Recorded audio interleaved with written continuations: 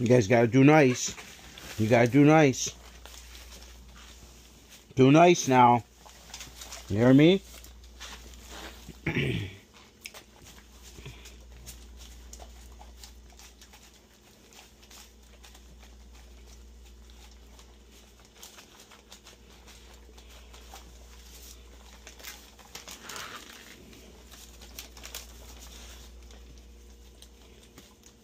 You guys think you like Jersey Mike's?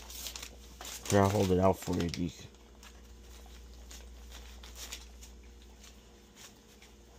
Better do nice, so, right?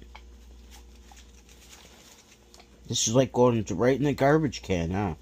You're gonna steal it right out of the garbage can later anyway, so what's the difference?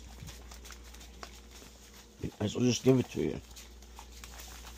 And you better do nice. You hear me? Good boy.